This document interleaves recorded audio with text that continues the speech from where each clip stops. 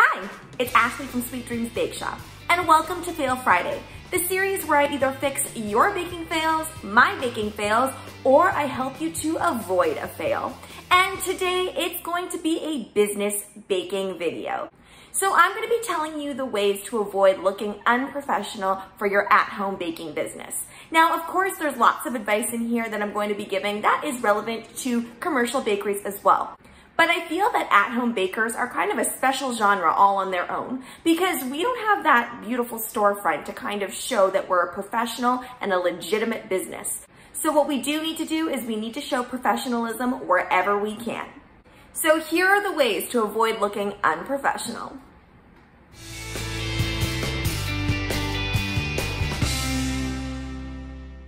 So the very first interaction that your customer is most likely going to have with you is going to be either via text message or on Facebook Messenger if you run a business page or on Instagram, or perhaps if you do it the old fashioned way and somebody calls in, that is going to be the first impression that they have of you. Of course, there are things like pictures and your portfolio that they must have looked at first, which is what got them to pick up the phone or message you in the first place. So now the ball is really in our court to make sure that we come off as professional as possible. Now, the reason that I think it's so, so important how you interact with your customers is because I know that when people interact with me in an unprofessional manner, then for somebody like me who is already on the fence actually about ordering from at-home businesses in general, it kind of puts me even more on edge and I'm more likely to go with a competitor who actually has a storefront and who is a lot more expensive. Yep, you heard that right. I'm willing to pay the price for professionalism. Whenever I was selling my home baked goods, I made it a point to be as professional as possible. Here are a few do's and don'ts when speaking with your customers. I always start off every interaction with hello and then whatever their name is, and then a comma. I know this sounds really strange that I'm walking you through this, but you would be surprised at the amount of people that actually haven't written a whole lot of formalized letters or formalized interactions before. So this is really important. I actually avoid saying things like hi or hey. That's a little bit too informal. I like to keep it really, really formal with my customers, especially if I don't know them. Even if they say, hi, I heard about you from your sister or my friend ordered from you, I still make it a point to be super, super professional do use friendly language. You do want to be very kind. You don't want to come off as cold. So if you just get straight to the point and add periods to all of your sentences, it can come off as cold. As we know, especially in textual conversations, it's really hard to decipher somebody's tone. So it's really important that you use formalities that are friendly. For example, you're going to start off with that hello bit, and then at the very end, you want to say something like, if you have any questions, please don't hesitate to ask. Kindest, Ashleigh, for example. And then underneath, I usually like to write my business name as well. And you can have this set to auto form, especially if you're on email interactions, this can happen very, very easily. So that's the first thing. You do wanna make sure you have a good opening and ending and using very, very kind but formal language. Do Make sure that you use correct grammatical language. Try your very, very best to make sure that you don't have any spelling errors. And I really mean the yours and yours and the there, there, theirs and all of those things. Right away for me, if somebody uses those incorrectly, the likelihood of me clicking off of that email or message is very, very high. And if spelling and grammar isn't your strong point, then you might want to auto select something on your Facebook page saying, please give me a call or thank you for contacting me. Please give me a call at whatever your phone number is. Do be prompt with your messaging. Make it a point to try and answer your customers within at least 24 hours. If you can't do that, chances are you're going to lose the customer and your business is going to look a little bit unprofessional as well because it shows that you don't have a PR team to keep up with your messaging. And of course, us at-home bakers know that we really are the PR team, we're the decorating team, we're all the teams. But as an at-home baker, it's really important to seem like you can do it all. Don't use emojis. Whatever you do, don't use emojis. A well-placed smiley face at the end of an interaction I think is fine, but anytime you're putting lots of hearts or the birthday cake emoji, automatically that seems very unprofessional to me and it makes me lose faith in whatever company I am speaking to. I much prefer when they just used formal but friendly language. Don't hit that send button before you've reread it at least four or five times. I know a lot of business owners in this day and age, especially, we're in a rush. We are in a hurry. So we'll type, type, type, and we all know how good our autocorrect is on our phones. And then all of a sudden you've typed in a bunch of mistakes or maybe even something inappropriate that you would never want a customer seeing. So it is so important that you proofread everything.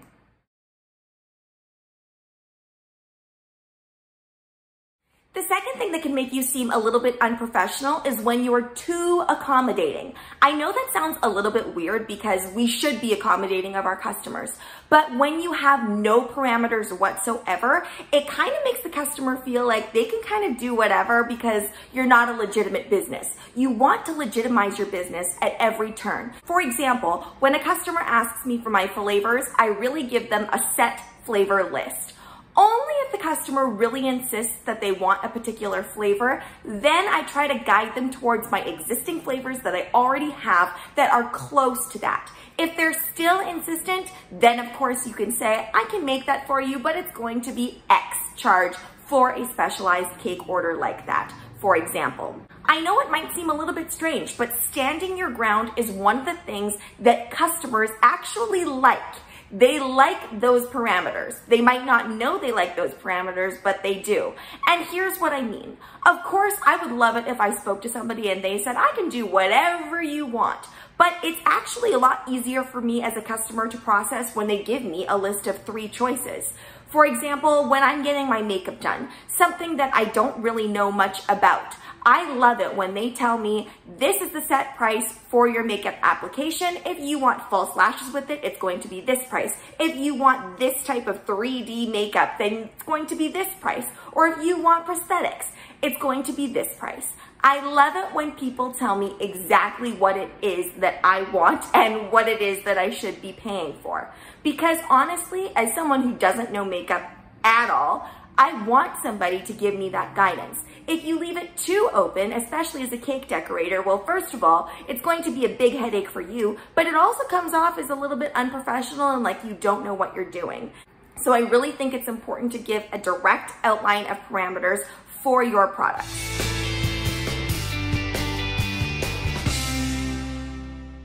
Another thing that I think you should avoid doing is send photos.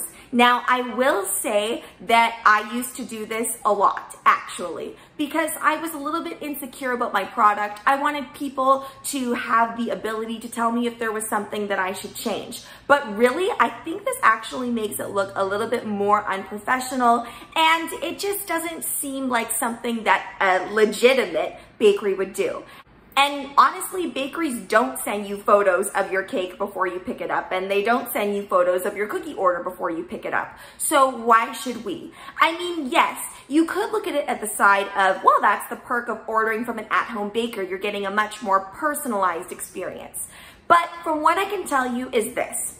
One, sending a photo, especially if it's a photo where something is in progress, you're kind of letting them into your home space. It leaves room for them to pick at every single minor detail. It also gives them that time to stew over something that they might not be that happy with. Whereas if they just pick it up on site, chances are they're going to be happy with it and they won't have that time you're giving them when you send a photo for them to really critique it. This isn't a hard and fast rule. If you really want to send your clients photos, by all means do it. I just think that if we're going in line with what most professional bakeries do and most commercial bakeries do, they're not sending photos to their clients.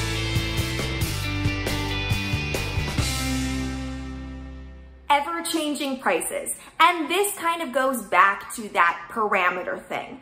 We want to make sure that once we quote, we don't go back on it. We never change our word.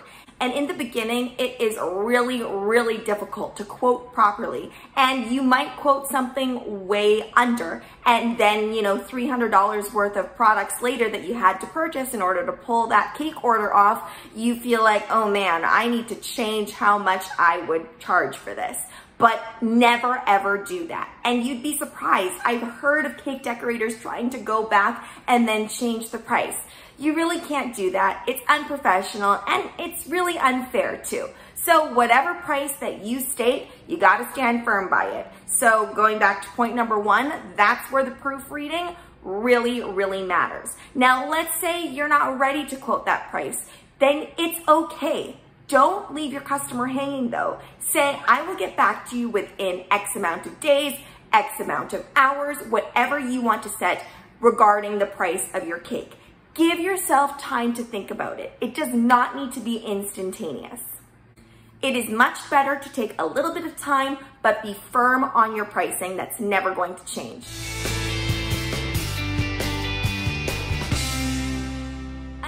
That makes your caking business look a little bit unprofessional is if you don't take a deposit. Now, I'm guilty. I didn't always take a deposit, especially if I felt like I could trust the person, which is weird because how would you know to trust the person if you've never met them? So you can choose to take whatever deposit amount you want. I highly recommend that you take down 50%.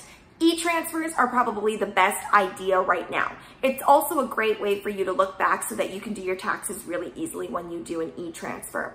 Not only does it make your business look more professional when you ask for a deposit, it actually gives the customer a sense of relief, I think. Not only does asking for an e-transfer provide you with a little bit of assurance that you're going to get paid at least a portion, even if for some reason they decide they don't want to pick up their cake, but it also is a way to show them that yes, you're serious about the order, the deposit has been taken, and it gives them that comfort that they know that their cake is going to get made. And if it doesn't, well, there's been a change in hands of money. So you kind of have to make it for them.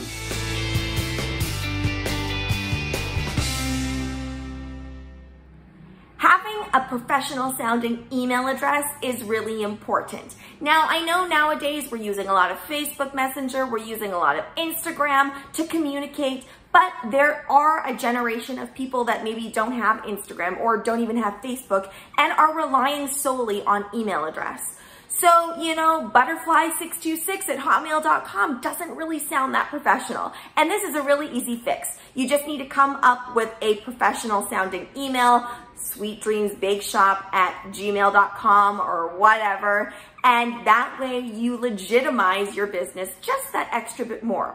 If you want to go a step further and have your own at whatever your email is, I mean, you can pay for that. But I don't think it's necessary. Even some commercial bakeries don't have that.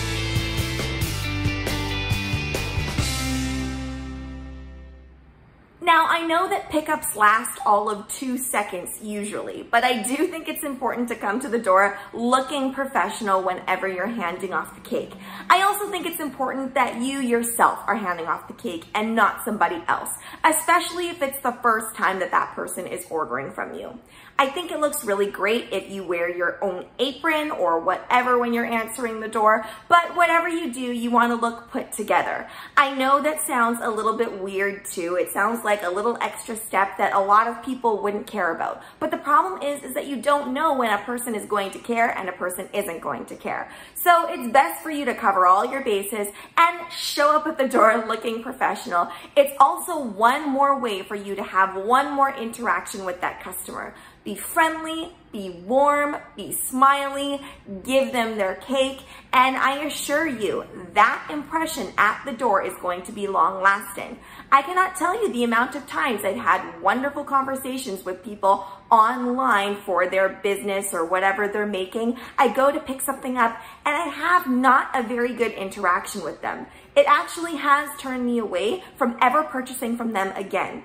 And it wasn't as if it was a super negative interaction. They just weren't very friendly. They just weren't very warm. So for me, I want to support businesses where I feel welcomed to purchase their product and I want them to be happy that people are purchasing their product. I think that's super, super important.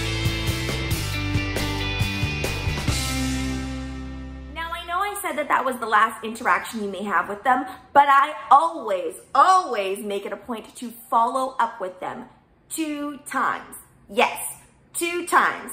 Can seem like a little bit of overkill, but when you're first starting out, these are the interactions that are going to place your business above the rest. So the first interaction you wanna have after they pick up their order, right away, I message them right away.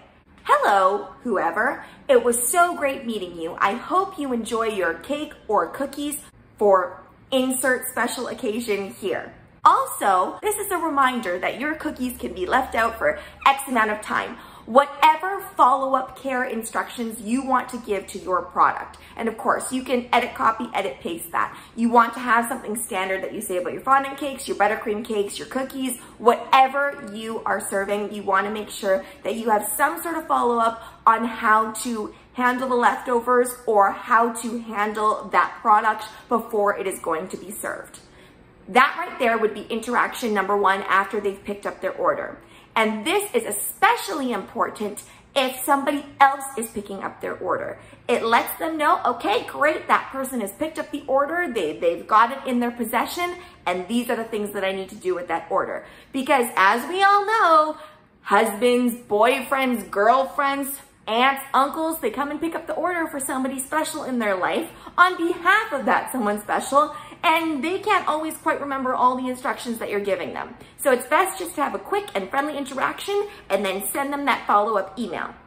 And then the second thing that you want to send to them will be a week later. I know this seems like a lot to keep up with, but if you want to stand out among the competition as a very professional, caring company, I assure you this will help you. So the second thing that you want to say is, I hope you enjoyed your XYZ, whatever it is that they ordered. It was a pleasure making it or whatever you want to say about it. Cheers, Sweet Dreams Bake Shoppe, or cheers, Ashleigh from Sweet Dreams Bake Shoppe. Whatever you want to say. Now, don't be discouraged. Sometimes you will not get a message again. A lot of people just think, great, that was the end of it. Awesome. She messaged me. Fantastic. Done. But I can tell you from experience that every time I have done this, I have received a message somewhat later on down the line. It could have been a year down the line. And sure, maybe some of that is due to the actual product and they enjoyed that. But I really have firm beliefs that a lot of it is because of the way that I interacted with customers. And this rings true for when I worked at the commercial bakery as well. People's personalities draw people in and make them want to buy from you. So those are the ways that you can make your small little bakery look a little bit more professional and for you to keep generating those orders and making money. Now I know some of those things seem maybe a little bit strange or maybe a little bit too picky, but I assure you from my experience, doing these things really, really helped propel my business. I often saw these things being done too at the commercial bakery that I used to work at, and it really does make the difference. Thanks so much for watching, guys. Don't forget to like, share, and subscribe so you can be part of the Sweety fam. But right now, I'm uploading daily, so make sure you hit that notification bell so you know when I upload. Also, be sure to comment, request, or ask a question. I love hearing from you guys. Be sure to submit your baking fail, and it can be fixed by next Friday.